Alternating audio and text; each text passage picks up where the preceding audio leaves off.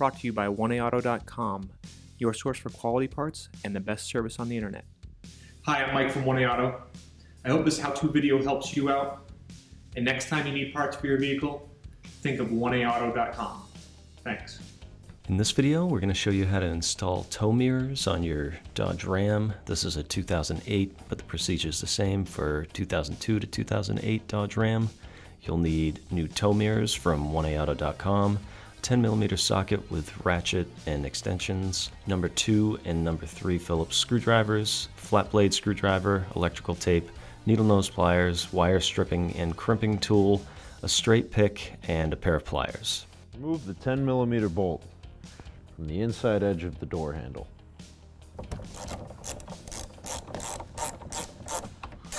Remove the door handle from the opening. Remove the number 3 Phillips behind the door handle and in this top corner two number 2 Phillips on the bottom of the panel.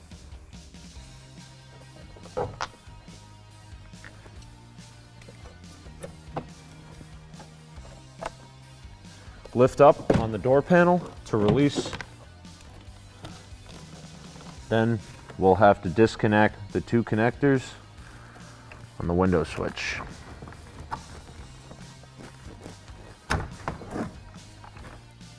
Disconnect the connector to the mirror by pressing down on the tab on the top.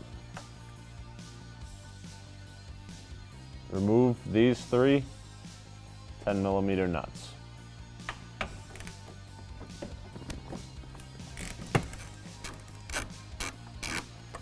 Make sure to support the mirror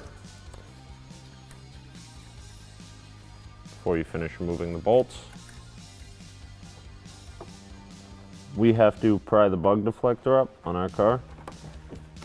Put it behind the mirror.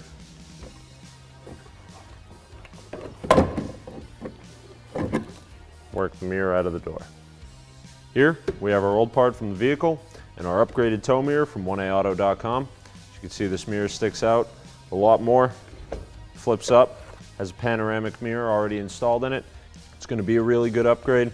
Gonna give you a lot better view of what's going on behind you, especially when you have a big trailer on the back of your truck. Bolt right in just like the factory part. Comes with an easy to install two wire harness. So we can use this lamp as either a turn signal or parking light. Be sure to take the two wire connector feed it through first. Line up your bolts. Pop the new mirror in. Make sure you use the new hardware supplied with the kit. Has a larger flange on the nut to help support the extra weight of the bigger mirror. Tighten the bolts back up with the 10 millimeter socket.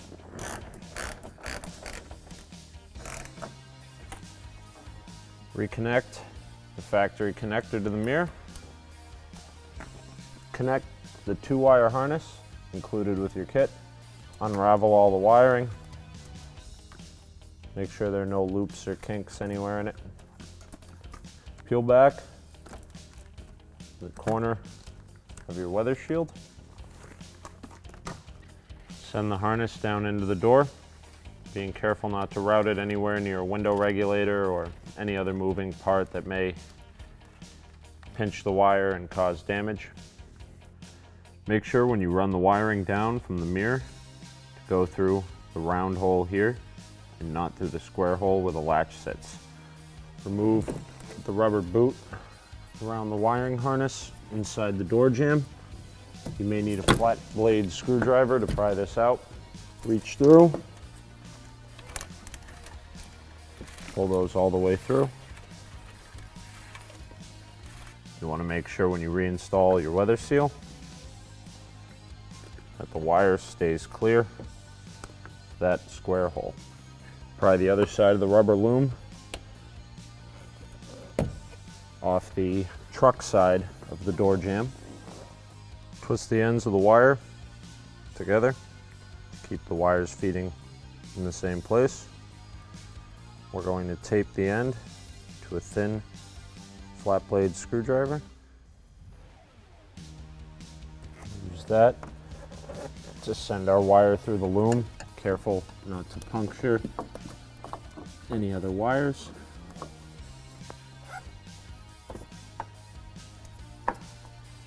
Hold your wires, pull your screwdriver back through, feed the rest of your wiring through the loom. Lift up on the seam of the kick panel. Lift up, pull the panel out. Just below the parking brake pedal is this weather shield. You'll have to pop that out of the way with a pair of needle nose pliers behind the plastic clips. Just pry them out.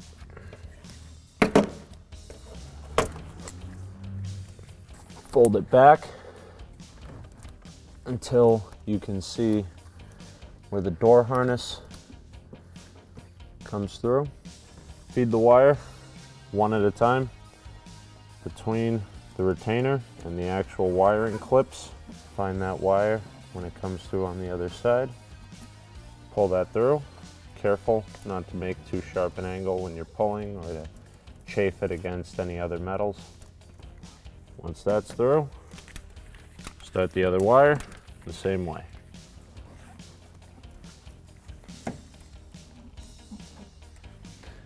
Now that you have your mirror installed on the driver's side, repeat these steps on the passenger side up until the wiring goes through the cab.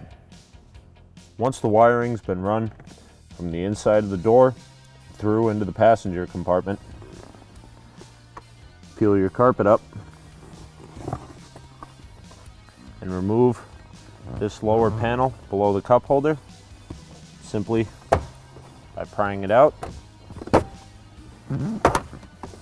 placing it to the side. Fill your carpet up. Route your wires underneath. You can see that our wires aren't going to be quite long enough, so we'll use the scraps from our old harness to extend these. We'll twist the ends of the wire together, nice and tight.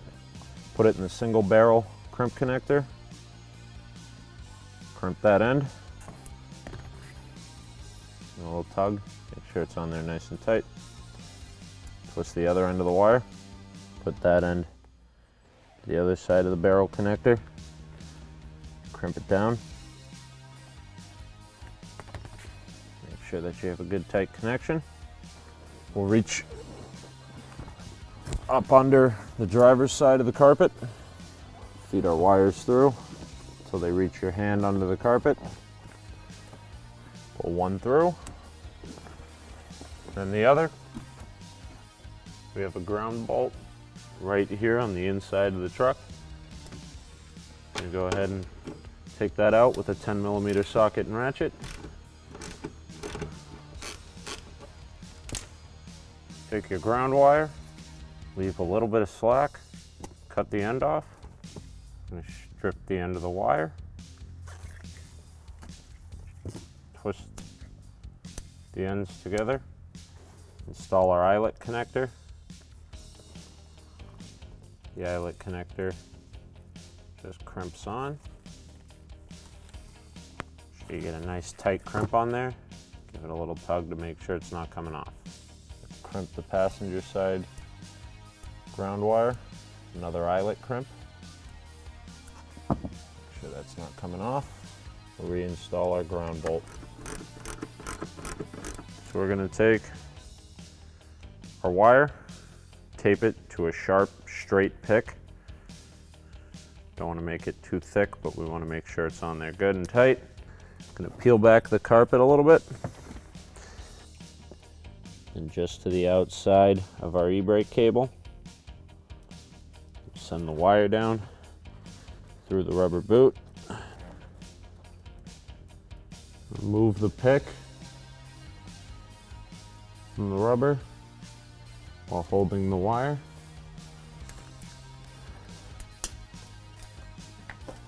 Now we can pull our wire through.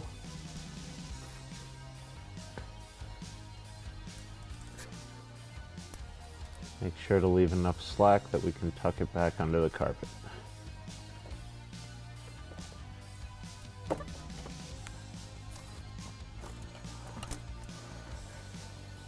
Crimp connector won't fit through, so we'll just lay it all back down under the carpet.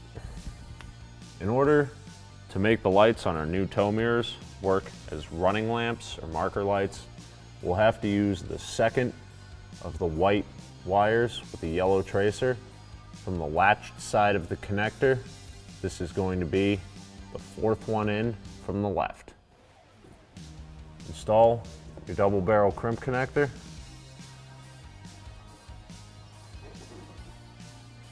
Onto the wire. With the leads from your mirror stacked one on top of the other. Install them into the other side of the double barrel connector. Crimp your connector with a pair of pliers. Close the safety latch over the top. After installing your wiring, turn the vehicle on and check for operation of your running lights. Push your carpet back into place. Reinstall the trim below the cup holder. The two clips in the front. Reinstall the plastic connectors. Hold the weather shield in. Make sure your carpet's back in place. Install the front clips of the kick panel.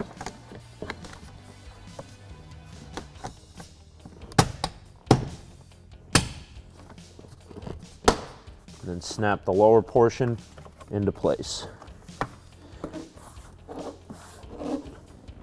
Repeat this step on the opposite side. Reinstall the rubber wire loom on both sides.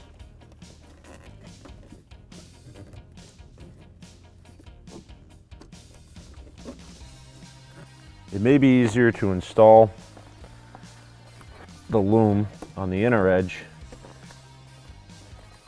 if you use a hook pick, push down on the clips and remove the connector from the cab of the truck.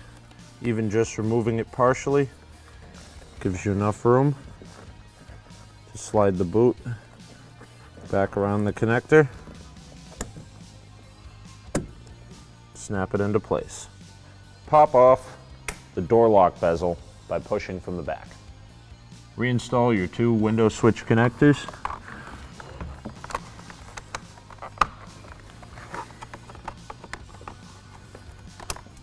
Line up the tabs in the door panel. Slide your door panel into place. Pop the door lock bezel back into place. Reinstall your four door panel screws.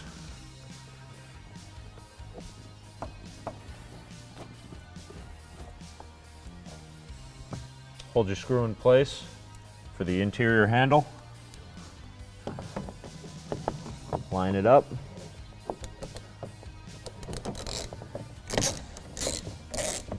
Tighten it down. Thanks for tuning in. We hope this video helped you out. Next time you need parts for your car, please visit 1aauto.com. Also check out our other helpful how-to as well as diagnosis videos.